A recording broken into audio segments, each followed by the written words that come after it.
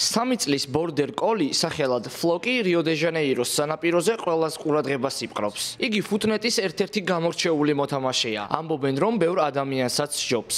ფუტნეტის, ანუ ფრენბურთის და ფეხბურთის ჰიბრიდი სპორტის წესები არსებითად იგივეა, რაც პლაჟის ფრენბურთში, თუმცა ოდნავ დაბალი ბადით, ხოლო მოთამაშეებს ხელებითა და მკლავებით ბურთთან შეხება ეკრძალებათ. ფლოკი ბრაზილიაში ინტერნეტ სენსაციად იქცა და ათასობით გამომწერი ჰყავს Instagram-სა და TikTok-ზე. მისი მეპატრონე გუსტავო როდრიგესი თავად ფუტნეტის მწვრთნელია, მაგრამ ირწმუნება, რომ ფლოკის წარმატება მის გეგმებში არ ყოფილა. თუმცა ამბობს, რომ ფლოკიმ საკუთარი პოტენციალი ადრეულ ასაკში ჯერ კიდევ ორი თვისამ გამოავლინა, როდესაც დაბადების დღის ბუშტებს ხტუნვით მისდევდა. რაც შეეხება ფლოკის დებიუტს, ბევრად უფრო რთულ და კონკურენტულ სპორტის სახეობაში, ფუტნეტში ეს გასულ წელს შედგა. სპორტი გამძლეობას, სისწრაფეს, კოორდინაციას ორგანიზაციას და მოქნილობას მოითხოვს.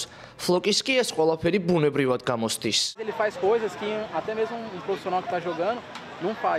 ხანდახან ფლოკი აკეთებს იმას, რაც პროფესიონალებსაც არ შეუძლიათ. გულისხმობ კორტზე პოზიციის დაკავებას. ხანდახან ბურთი კორტის ერთი მხრიდან მეორეში ვაგდება და ფლოკი ყოველთვის პირისპირ ხვდება ბურთს. ბევრი მოთამაშე, მათ შორის პროფესიონალებიც, ბურთს გვერდულად ხვდებიან. ამ ყოველფრის გამო რომ იგი Instagram-ზე ასეთი პოპულარულია. ოსტატობის თვალსაზრისით იგი ფრიადოსანია.